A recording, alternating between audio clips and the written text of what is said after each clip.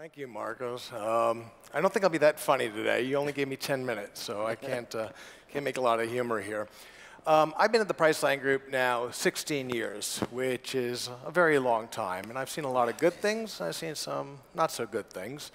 Um, many of you probably don't know what the Priceline Group is, even though we are one of the highest market valued companies in the internet space but you may have used some of our services, and that may be how you may know us. So let's take a look at some of these. Priceline Group consists of six main brands. The first one, the biggest, Booking.com, that's something that maybe you've used because it's based in Amsterdam. It's a European-based company, but it is worldwide. 200 offices around the world. Uh, they recently announced that over 1 billion guests have used the Booking.com system pretty big. In fact, in just the last year, over 285 million people, guests, went through the system. Now, oh, just man. for to understand what that number means, that means more people than the entire population of the UK, France, Germany, Completely. and Italy combined use the system. Uh, the company started yeah. with a company called Priceline.com. That was the first company in the group uh, and that was started in the late 1990s. It's only basically in the US, and that may be why you don't know the Priceline Group. We also own a company called Kayak. We own a company called Agoda, which sells hotels. That's based in Bangkok. We own a company called Rental Cars. Originally, it was called Travel Jigsaw. Didn't sound like a great name for renting cars, so we changed to Rental Cars. Works much better. And we bought a company called OpenTable. Open Table, US based. So if you look at this, we have booking in Amsterdam. We have a Agoda based in Bangkok. We have our rental cars guys in Manchester, UK. And there was another okay. company called Active Hotels that was based up in Cambridge. That was the first acquisition we did. So we bought acquisi the first acquisition, Active Hotels, and we merged it with Booking when we bought Booking. We paid $135 million for Active. Actually, it was for Booking. 165 for Active. Together, $300 million. Yeah.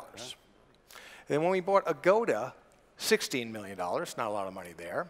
And we bought rental cars, we spent about 100 million for that. You add all that together, less than $500 million.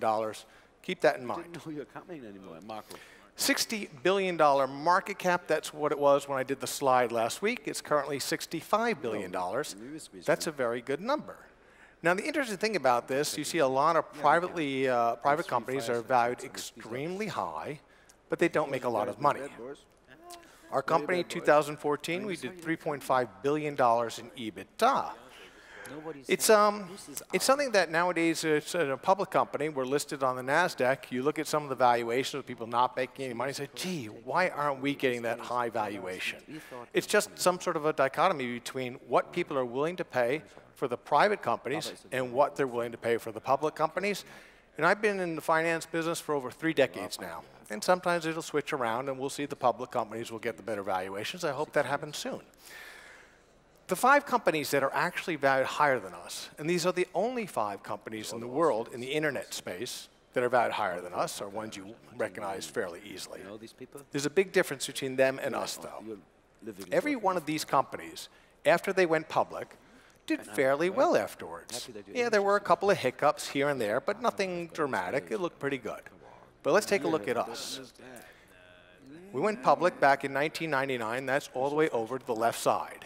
And within a week, we had a market cap of $30 billion. We had very little revenue. We had no profits. Back then, it was the bubble. Everybody's willing to pay anything for anything. Not long after that, the internet bubble burst. Things got very, very bad for us. We almost went bankrupt. A lot of people thought we had gone bankrupt. My mother was getting calls from her friends. Oh, I'm so sorry what happened to Glenn's job. It's terrible. He left that good job at Morgan Stanley. Luckily, we didn't die, though. But it was very tough. We had to lay off a lot of people. So people here who are in companies that are young and early and Sometimes things aren't working so all well and you have to let some people go.